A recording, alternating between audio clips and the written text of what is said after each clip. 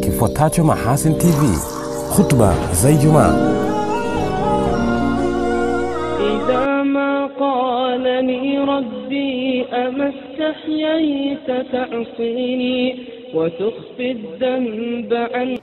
Ndugu zangu, la yaslim illa man, illa man salamahu Allah.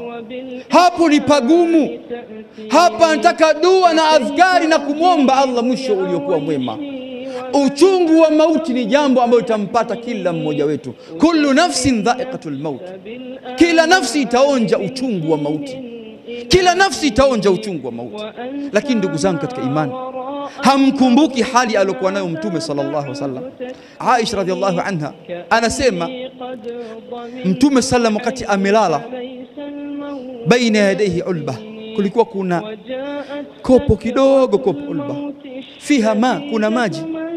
Fajaala yudkhil yadayhi fil na, anachukua mikono yake anaingiza katika chombo kile fayamsah bihima wajhu. Mtume sallallahu alayhi wasallam anachukua maji anajimwagia kwenye uso, anajimwagia kwenye kichwa, kisha anasema la ilaha illa Allah inna lilmauti sakarat. Huyu ni mtume. Hawa wamekupita katika tandiko la mauti, lakini ndugu zangu katika imani, unatokaje katika ulimwengu? Unatokaje katika ulimwengu? Unatoka hali ya kwamba waja wa Allah wanakulaani wewe wewe unazikwa watu wanakulaani wewe, au wewe unatakiwa wakati unazikwa watu wanalia kwa kheri uliotanguliza mbele ya Allah.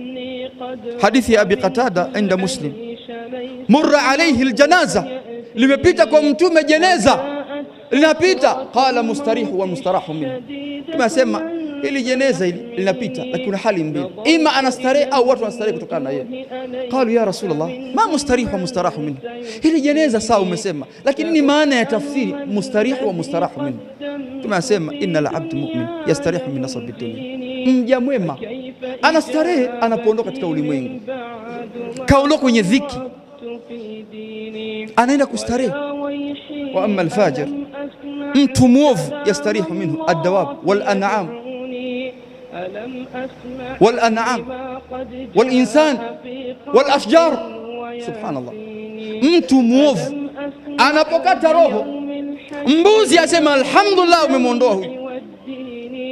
Sijakwambia nyumba ulioijenga ukagombana na watu, kila siku upo yenyewe inakulaani, siku unaondoka inashukuru kwa Allah. Jamaa datu vitu vina roho vinashukuru, sikwambi hivyo. Wanyama miti inashukuru kuondoka. Ni hali ya mtu anapokelewa katika hali ya namna gani? Ndugu zangu, yatakiwa maandalizi ya kwenda kutana na Allah subhanahu wa ta'ala. Innal hamdalillah nahmaduhu wa nasta'inuhu wa nastaghfiruh wa na'udhu billahi min shururi anfusina wa min sayyiati a'malina man yahdihillahu fala mudilla lahu wa man yudlil fala hadiya lahu وأشهد أن لا إله إلا الله وحده لا شريك له وأشهد أن محمدا عبده ورسوله صلى الله عليه وعلى آله وأصحابه ومن والاه. يا أيها الذين آمنوا اتقوا الله حق تقاته ولا تموتن إلا وأنتم مسلمون. يا أيها الناس اتقوا ربكم الذي خلقكم من نفس واحدة وخلق منها زوجها وبث منهما رجالا كثيرا ونساء واتقوا الله الذي تساءلون به والأرحام. إن الله كان عليكم رقيبا. يا أيها الذين آمنوا اتقوا الله وقولوا قولا سديدا. يصلح لكم أعمالكم ويغفر لكم ذنوبكم. ومن يطع الله ورسوله فقد فاز فوزا عظيما. أما بعد فإن أصدق الحديث كتاب الله وخير الهدي هدي محمد صلى الله عليه وسلم وشر الأمور المحدثاتها وكل محدثة بدعة وكل بدعة ضلالة. ndugu zangu katika iman baada ya kumshukuru Allah subhanahu wa ta'ala na kumtakia rehma kiongozi wetu mtume Muhammadin sallallahu alayhi wasallam na kuhusieni nikiwa wa mwanzo kuihusia nafsi yangu kushikamana na yale yote ambayo alokuja nayo Mtume Muhammadin sallallahu alayhi wasallam. Ndugu zangu katika iman, anatuambia Allah subhanahu, wattaqu yawma turjauna fihi ila Allah thumma tuwaffa kullu nafsin ma kasabat wa hum la yudhlamun. Ndugu zangu katika iman, aya hii wanasema wanazuoni wakiwemo masahaba ridhwanullahi alaihim, ndiyo aya ya mwisho kutelemka katika Qur'ani. Kama tunaofahamu tuliokuwa wengi, aya ambayo iliyotelemka alyawma akmaltu lakum dinakum ilitelemka katika hijjatul wadaa siku ya Ijumaa, wakati Mtume Muhammadin sallallahu alayhi wasallam alipo katika uwanja wa Arafa. Kisha baada yake zikatelemka ikatelemka surati An-Nasr, idha jaa nasrullahi wal fath, na mwisho kabisa aya ya mwisho kutelemka ndani ya Qur'ani ni aya hii inayopatikana katika surati al-Baqarah. Allah tabaraka wa taala alipotuambia wattaqu yawma turjauna fihi ila Allah, iogopeni siku ambayo mtakaorejeshwa kwa Allah subhanahu wa taala. Thumma tuwaffa kullu nafsin ma kasabat wa hum la yudhlamun, kisha kila nafsi ikalipwa kwa yale ambayo iliyokuwa imeyachuma katika mgongo huu wa ardhi, hali ya kwamba hatodhulumika mwanadamu chochote katika mizani yake mbele ya Allah subhanahu wa ta'ala. Ndugu zangu katika iman, aya hii mara nyingi tunakuwa tunaitaja. Angalieni uzito wa aya hii. Mwema anaambiwa awe ana mazingatio na muovu anatahadharishwa awe ana mazingatio, kwa sababu siku ya Kiyama kutakuwa kuna mizani. Yule ambaye mizani yake itakayokuwa ya mema ni nzito atakuwa mwenye kufaulu biidhnillah, na yule ambaye mizani yake ya maovu ndiyo itakayokuwa ni nzito atakuwa mwenye kuhasirika. Ndugu zangu katika imani, wengi katika wanazuoni bali masalafi ridwanullahi alaihim walikuwa wakiifanyia kazi aya hii katika maisha yao.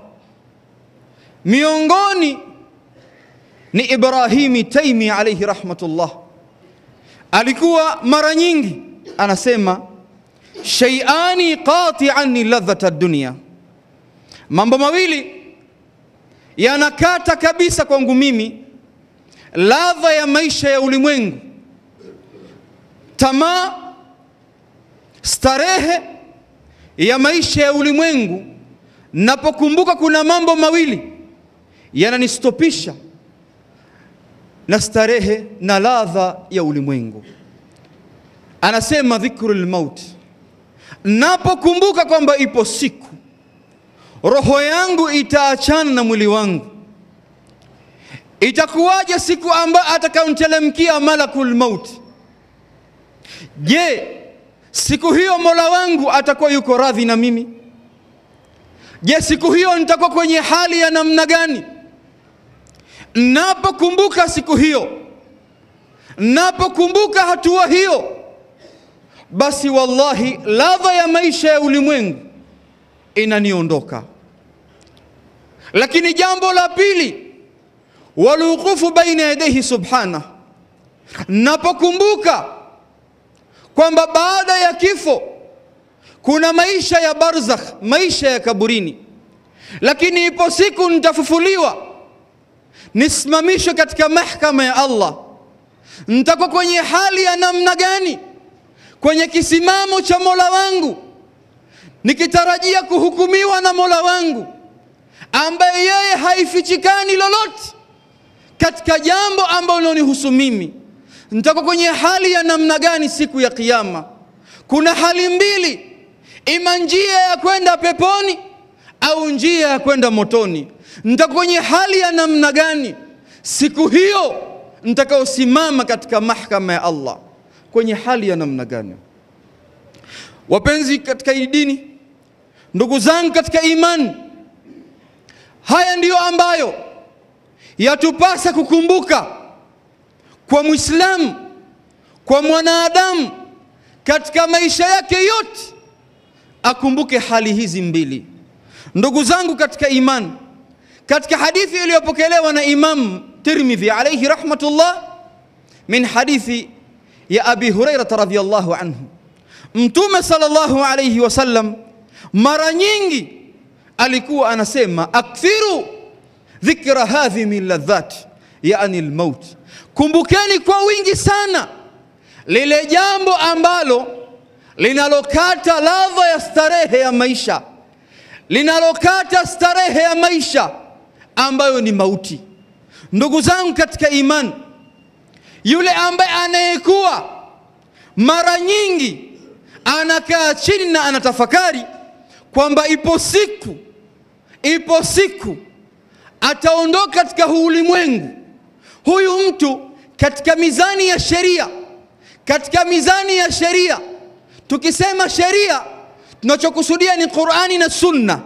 Katika mizani ya sheria ni mtu ambaye mwenye akili iliyokuwa imesalimika. Rawa al-Imamu Tirmidhi alayhi rahmatullah min hadithi Abdullah bin Umar ibn Khattab, anasema kuntu jalisa عند رسول الله صلى الله عليه وسلم. نلقوا مكا كتك رواية. كنت جالسا عند رسول الله صلى الله عليه وسلم. إذ جاءه الرجل. ألي بويجي ونمت كتك رواية من الأنصار. نميونغوني وينيجي ومدينة. أم بألكوا نكجانا مدوغو. فقال يا رسول الله. أكسي أيوة متومي الله ayu lmuminina afdal, ni nani katika waumini aliyekuwa bora katika jamii? Qala ahsanuhum khuluqa, Mtume sallallahu alayhi wasallam akamwambia ni yule ambaye aliyekuwa bora katika mizani katika waja, ni yule ambaye mwenye tabia iliyokuwa nzuri, ni yule ambaye tabia yake ni bora katika jamii. Huyu bila shaka ni mtu aliyekuwa bora katika jamii, kinyume na wengi wanayemwona mtu aliyekuwa bora ni mtu mwenye kipato, ni mtu mwenye cheo, lakini Mtume alisema mtu aliyekuwa bora ni yule ambaye mwenye tabia iliyokuwa nzuri.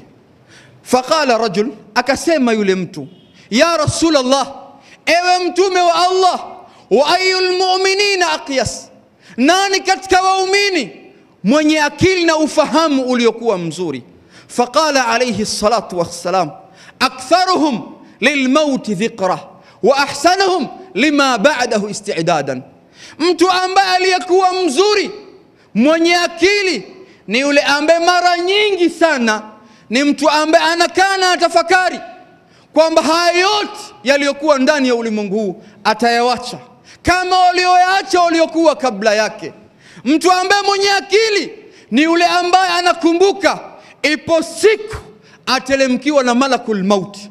Siku hiyo yule anayekumbuka mara nyingi jambo hilo, huyu ndiyo ambaye mwenye akili. Lakini si tu akakumbuka kwamba atakufa, hapana, bali akaandaa safari ya kwenda kukutana na Mola wake. Huyu ndio yule mtu ambaye mwenye akili. Ndugu zangu katika imani, hebu tuangalie katika tarehe kwa ufupi, baadhi ya masahaba ridwanullahi alaihim walioishi katika tandiko la mauti walikuwa ni watu wa namna gani, bali walikuwa wana hofu ya namna gani, na walikuwa na tamaa ya kutana na Mola wao kwa hali gani? Fahadha Ubada ibn Samit al-Ansari radhiyallahu anhu ardah. Huyu ni Ubada ibn Samit al-Ansari, ni alikuwa ni miongoni Ubada ibn Samit miongoni mwa wakubwa katika maansar, bali huyu amesilimu kabla ya hijra radhiyallahu anhu ardah. Bali katika manaqib ya Ubada ibnu Samit al-Ansari, vita vyote alivyotoka mtume Madina kwenda kupigana katika ghazawati, huyu hakukhalifu bali hakuacha hata vita moja, bali alikuwa karibu mno na mtume Muhammadin sallallahu alayhi wasallam. Alipokuwa katika sakarati lmaut, aliwaambia wale ambao waliokuwa karibu yake, aliwaambia haya maneno, aliwaambia akhrij firashi ila sahan, toeni tandiko langu, godoro langu ambao nimelilalia. Hana uwezo wa kwenda mwenyewe uwani, anawaambia toeni godoro langu, toeni kitanda changu, tandiko langu, mkeka wangu, upelekeni uwani. Lengo nini?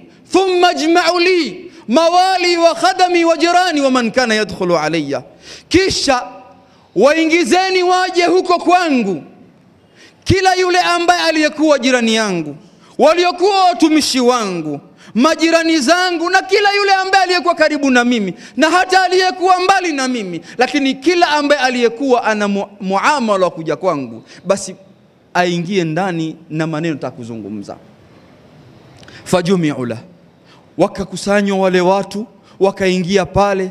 Faqala ya ikhwani, anaambia enyi ndugu zangu, huyu yuko kwenye siyaqi lmaut, huyu tayari yuko katika kuelekea kwa mola wake katika maisha ya barzakh, anataka aachane, aondoke katika hali ambayo ya kutafuta radhi za Allah subhanahu wa ta'ala.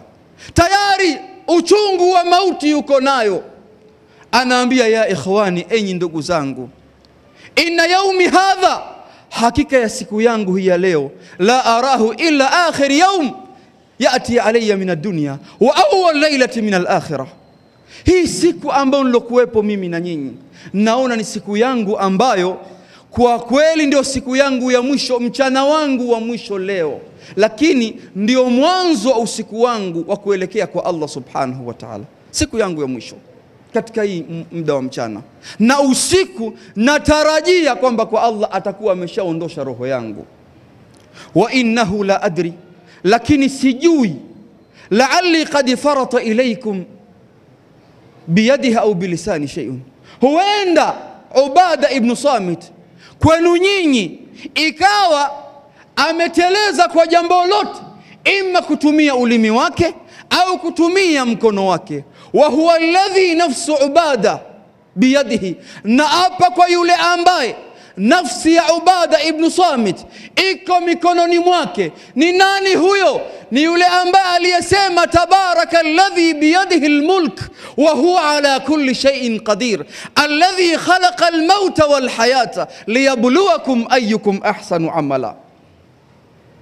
Yule ambaye anayemiliki pumzi zetu, anayemiliki rasilimali za uhai wetu, ni yule aliyesema umetukuka ufalme wake ambao uko katika mkono wake, naye ni muweza juu ya kila kitu, ambaye aliyeumba mauti na uhai, liyabluwakum, ili awapeni mitihani. Baadhi ya watafsiri wa Qurani akiwemo Imam Ibnu Kathiri alayhi rahmatullah kwamba ni nani atakayekumbuka kwa wingi, ipo siku atakayekufa. Anasema naapa kwa yule ambaye nafsi yangu ya Ubada iko mikononi mwake. Anasema alqisasi yauma alqiyama, jamani, kisasi siku ya Kiyama.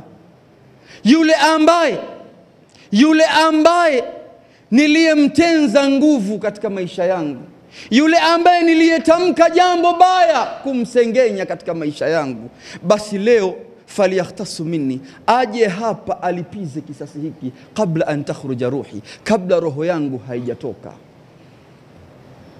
Yuko kwenye sakarati lmauti huyu, yuko kwenye uchungu wa mauti huyu, anaogopa mizani ya Allah.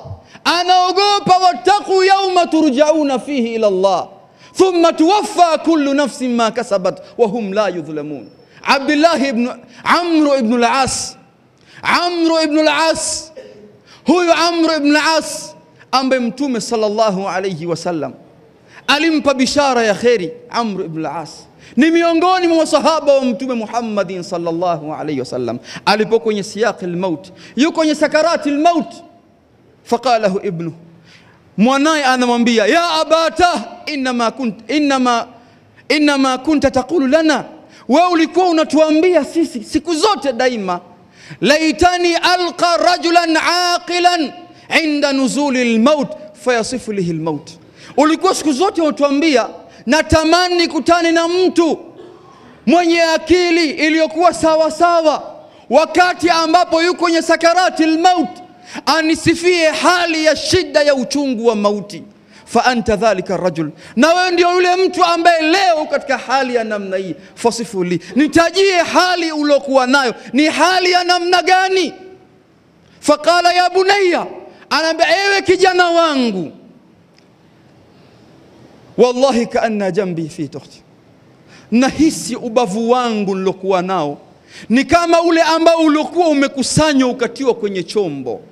Wakaani atanafas fi sami libra, nahisi kwamba pumzi zangu za mwisho zinatokea kwenye tundu la sindano. Hali niliyokuwa nayo ni ngumu. Wa Wakaanna ghuslu shauq, na nahisi hali niliyokuwa nayo kama mfano wa tawi lilokuwa lina miba sawasawa, sawa tawi la miba lilokuwa sawasawa sawa liloenea katika nyama za mwili wangu.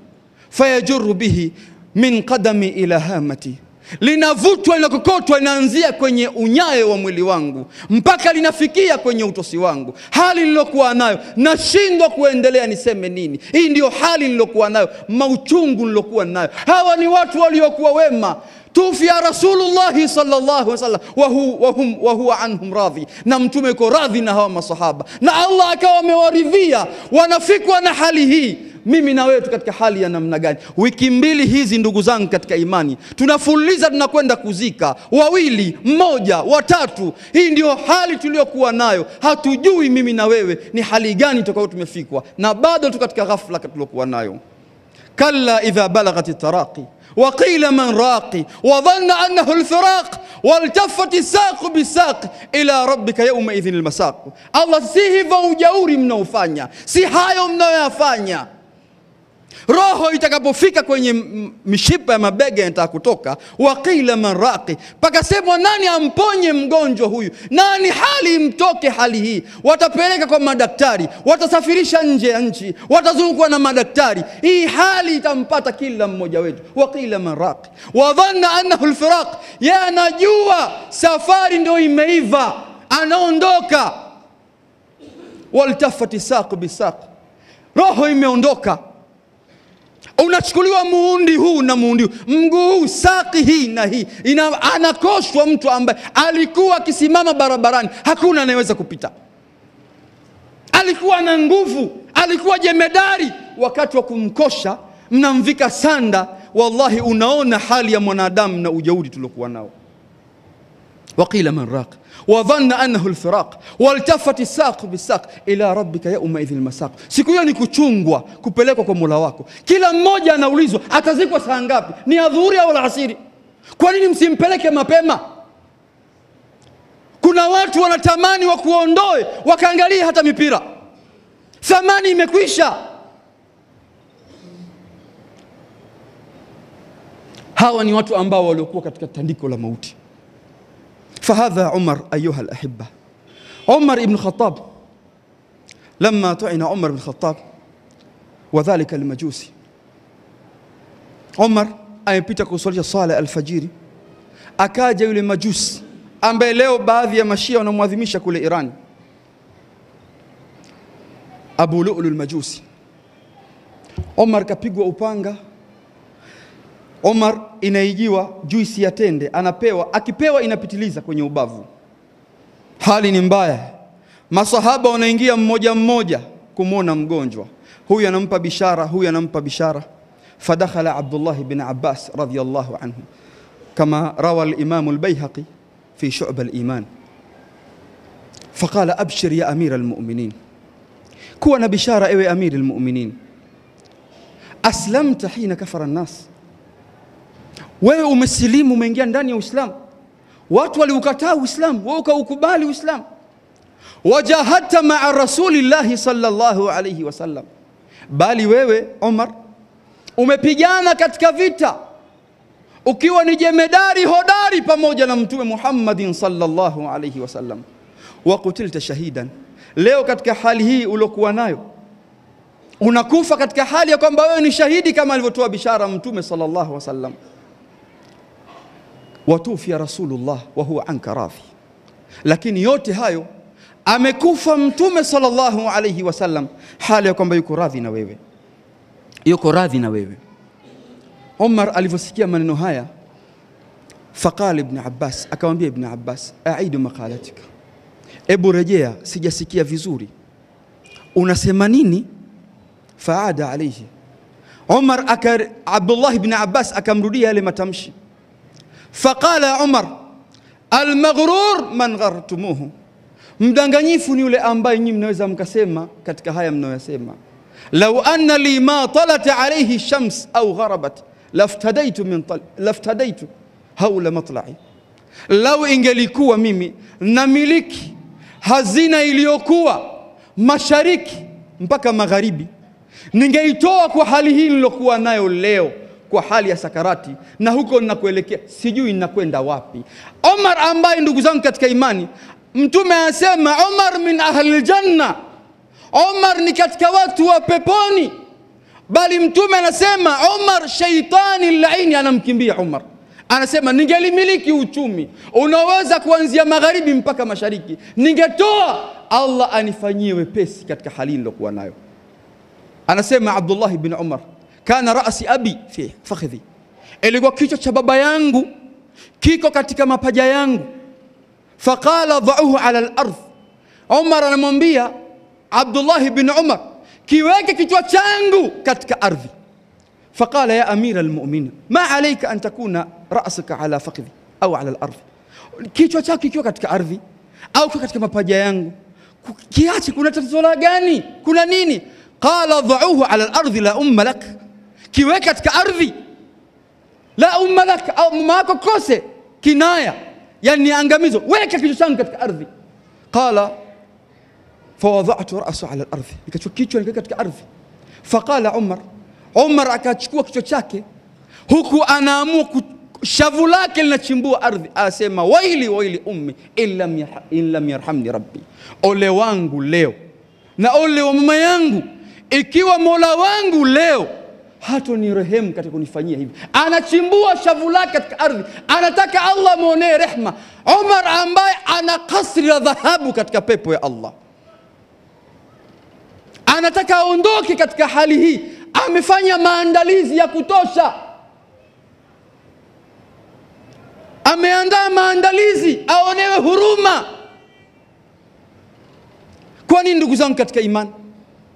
falmaut laisa lahu min sinnin maalum wala zamanin maalum wala maradhin maalum, mauti hayana umri, bali mauti hayana muda, kwamba labda ukifikisha miaka sabini wewe ndio unafariki. Ah, unaweza ukazaa leo mtoto siku hiyo akaondoka, bali anaweza kufia tumboni.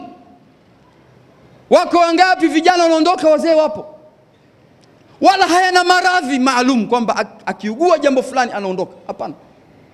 Kwa nini? Ili hiwe lengo ni kwamba kila mmoja anaandaa safari ya kutana mula wake. Hiyo ndio lengo, ndugu zangu katika imani. Harun ar-Rashid kana amiri lmuminin,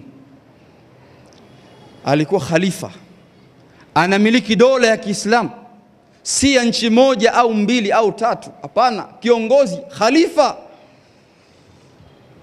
Alipokuwa kwenye maradhi ya sakarati lmaut, anawaambia watumishi wake, ishtaru li kafanan, nulieni misanda yangu nione.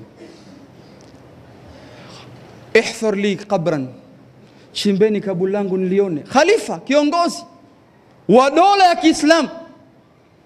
Kisha anachukuliwa anasema nionyesheni sanda yangu, niosheni kaburi langu. Analitazama kaburi, kisha anasoma aya hii, ma aghna anni maliya, ma aghna anni maliya, ma aghna anni maliya, halaka anni sultani, mali yangu niliokuwa katika hazina yote leo haina faida yote, mali yote. Haina faida tena. halaka anni sultania, uongozi wangu leo ndo unaishia hapa kwenye kaburi. Leo ndugu zangu katika imani, mimi na wewe tukatwa kulala, ikachukuliwa mchanga kidogo, mchanga, sijakwambia kiasi cha kujaza mkono, hapana, kiasi cha robo ya kijiko cha chai, ikamwagiwa kwenye shuka, usingizi hauji, usingizi hauji. Utahangaika, utaamka, utapepeta mpaka ukisha kwamba ulale katika hali iliyokuwa nzuri. Lakini angalia unapokwenda kwenye mwanandani, angalia mchanga unaokuja kumminiwa pale, angalia wale ambao uliokuwa nao. Idha mata ibn adam, Mtume anasema yatbau lmaita thalatha ahluhu wa maluhu wa amaluhu, yanamfuata maiti mambo matatu daima, siku zote, familia watu wake, mali yake na amali yake. Fayarjiu ithnani wa yabqa wahida, mambo mawili yanarejea haraka sana. Hakuna sasa mimi nampenda niziko pamoja naye, hakuna. Wala mali hatuwezi tukaichukua tukazika naye, hapana. Anasema mali inarudi na familia inarudi, wayabqa amalu, lakini amali yake ndio inaobaki pale. Leo unayempenda kwa dhati katika nafsi yako iko siku utatengana nayo. Hadithi ipokewa na Imam Bukhari fi Adabul Mufrad, hadithi ya Ibn Abbas qala li Jibril, ameniambia Jibril, ya Muhammad ish ma shi'ta fa innaka mayit, ewe Muhammad ishi utakavyo, ishi upendavyo, ipo siku utakufa. Wa ahbib man shi'ta fa innaka mufariqahu, mpende yule unayempenda, ipo siku utengana naye. Unampenda mume, unampenda mke, unapenda watoto, unapenda mali, unapenda ulimwengu, ipo siku ima vyenyewe vitangulia au utangulia. Kitu gani rafiki wako wa kweli? Ni amali yako. Ndugu zangu katika imani, angalia watu waliokuwa katika sakarati lmauti, katika tandiko la mauti. Dhakara Ibnu Jauzi alayhi rahmatullah fi kitabi Abidat lbasra. Ibnu Jauzi mwanachuoni mkubwa ametaja kwenye hichi kitabu wanawake waliokuwa maarufu kwa ibada katika mji wa Basra. Qala kanat, kanat fi Basra mraatu yuqalu laha Muniban, katika Basra kulikuwa kuna mwanamke anaitwa Muniban. Wa kanat, wa kanat laha binta saghira, na alikuwa ana binti mdogo. Qad urifat min ibadati ahsan min ummiha, anajulikana kwa ibada zaidi kushinda mama yake. Fakana Hasan Basri alayhi rahmatullah yataajab min ibadatiha. Hasan Basri mwanachuoni tabi huyu alikuwa anaona ajabu, binti mdogo kama huyu, ibada anaozifanya, akawa anafurahi, anafurahi kwa ibada za yule binti anaozifanya. فيوم من الأيام موجة katika masiku قيل يا أبا سعيد أنا أبو إيه سعيد؟ حسن بصري. تلك الجارية يله بنتي يله في سياق الموت. sasa hivi yuko sakarat الموت. فقام مسرعا akasimama kwa haraka فذهب إليها. akaenda haraka حسن بصري. alivoingia ndani yule binti موانا حسن بصري. asema بكت. Akawa analia, analia yule binti. Fa Hasan Basri alayhi rahmatullah faqala ma yubkik, kitu gani kinachokuuliza? Qala ya aba Said kaifa la abki, ewe Abu Saidi, vipi nsilie wa hadha shababi yudfanu fi turabi, vipi nisilie na ujana unaoniona huu nilokuwa nao? Leo, unaenda kuzikwa kwenye mchanga, unaenda kupomroshewa mchanga. Wama shabitu min ibadati rabbi, sijatosheka na ibada za kuelekea kwa mola wangu, sijui naenda wapi kwa mola wangu. Ya aba Said, ewe Abu Said, awa ma tasmaa li ummi tukallim abi, ukumsikia mama yangu akimwambia baba yangu ishtar li binti kafanan hasana, mnunulie binti yetu sanda iliyokuwa nzuri ya ghali, sanda nzuri. Au hukumsikia? Mama yangu akimwambia baba yangu ihfir li binti qabran wasia, chimba kaburi la binti yetu, kaburi lilokuwa pana zuri. Qala ya aba Said, ewe Abu Said, wallahi lau ajhaz min makkata latala buqai, ingelikuwa safari yangu kutoka Basra kwenda kwenda Makka, ningelia kilio changu, kilio cha kawaida, nafarikiana baba yangu, mama yangu, ndugu zangu, majirani zangu, ningelia. wa ana ajhaz ila alqubur, na mimi naelekea kwenye kaburi. Vipi nisilie? mujawarati dud fi dhulumati luhud, watu nitakaoishi, vitu nitakavyoishi navyo katika, katika kaburi langu ni wale wadudu watakaoushambulia mwili wangu, wale wadudu watakaoushambulia mwili wangu katika kiza cha mwanandani. Hiyo ndio hali ambayo inaoniliza, na sijui matendo niliyoyafanya Mola wangu atanikubalia. Hajafikia bulughu, hajaandikiwa dhambi huyu. Mi na wewe tunao tumefaulu, tumekaa tunasengenya, tumeona watu wote wa motoni, sisi ndio wanaharakati tumeona kwamba sisi tayari tiketi za pepo tunazo. Abu Hurairata radhiyallahu anhu alipokuwa kwenye sakarati lmaut, fadakhala alaihi Marwan. Marwan anaingia, Abu Huraira analia, faqala ma yubkika ya Aba Huraira ama ana la abki an dunyakum hadhi, mi sili kwa sababu ya dunia, walakin abki libudi safar wa qillati zadi, kinachoniliza ni kwamba safari yangu ya kwenda kutana Mola wangu ni mbali, lakini sina amali nizozikusanya za kuweza kujifaharisha kwa Mola wangu. Matendo yangu ni machache na safari yangu ni ndefu. aqulu ma tasmaun astaghfirullah li wa lakum. Alhamdulillah wassalatu wassalam ala man la nabiyya ba'da wa ala alihi wa ashabihi wa man wala, amma ba'd. Ndugu zangu katika imani Hii ni safari ambayo inaotaka maandalizi, lakini maandalizi yanayotakiwa ni yale ambayo sisi roho zetu zinatoka hali ya kwamba Allah tabaraka wa taala yuko radhi na sisi. Lakini ndugu zangu katika imani, hizi Qur'ani tunaozisoma tunapitia aya nyingi. Allah anasema falaula idha balaghatil hulqum wa antum hina idhin tandhurun wa nahnu aqrabu ilayhi minkum walakin la tubsirun فلولا إن كنتم غير مدينين ترجعونها إن كنتم صادقين. هو جوري منوفانيا هم تكوي لكيك الله. هم تكوي جكربيشك الله. هم تكوي كتوبيك ومكوسينك الله. مبونا روحو إنا بفكا كوني كوروميرو إنا تاكو توكا. في الحلقوم كاتكا كوروميرو وأنتم فلولا إذا بلغت الحلقوم وأنتم حينئذ تنظرون. Na nyinyi mmekaa mnamwangalia yule anayetaka kukata roho, ikiwa ni baba, ikiwa ni mama, ikiwa ni mjomba, ikiwa ni shangazi, ikiwa ni mtu wa karibu.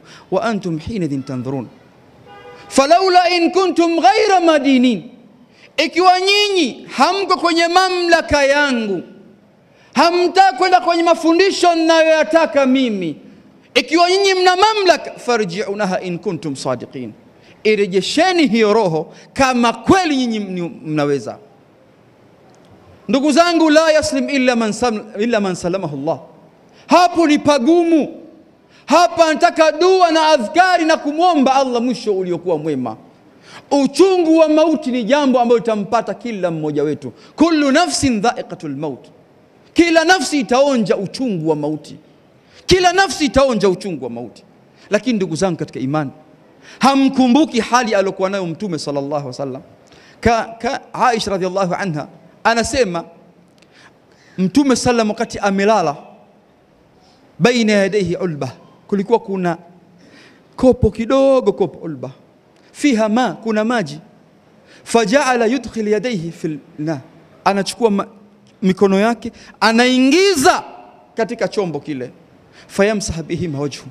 Mtume sallallahu alayhi wasallam anachukua maji anajimwagia kwenye uso, anajimwagia kwenye kichwa, kisha anasema la ilaha illa Allah inna lilmauti sakarati.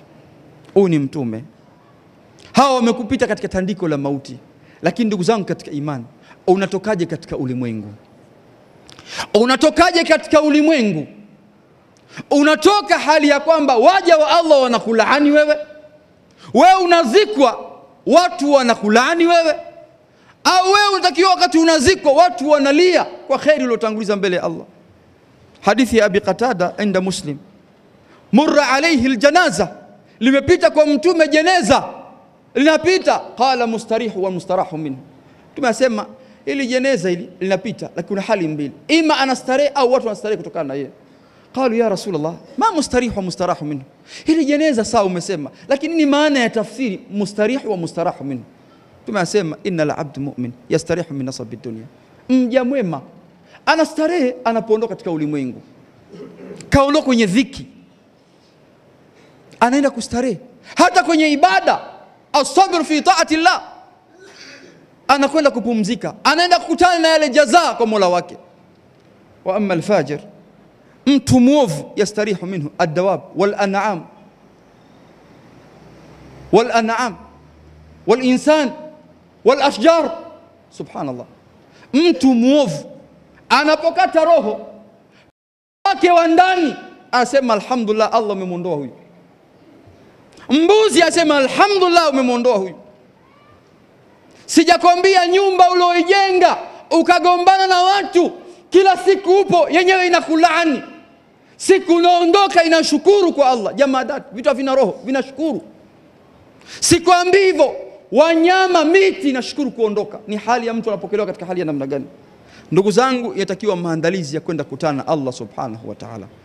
Inna Allaha wa malaikatahu yusalluna ala nabi ya ayuha alladhina amanu sallu alayhi wa sallimu taslima Allahumma a'izz al-islam wal muslimin wa adhill ash-shirka wal mushrikin Allahumma alif bayna qulubina Allahumma alif bayna qulubina wa aslih dhata baynina wahdina subul as-salam ونجنا من الظلمات إلى النور وجنبنا الفواحش ما ظهر منها وبطن وبارك لنا في أسمائنا وأبصارنا وقواتنا وأزواجنا وذرياتنا برحمتك يا أرحم الراحمين والحمد لله رب العالمين.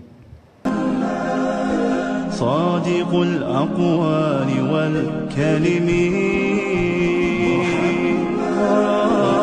خبيت بالنور طينته.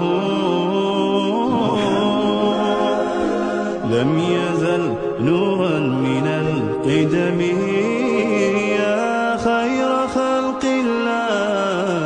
يا خير خلق الله يا خير خلق الله.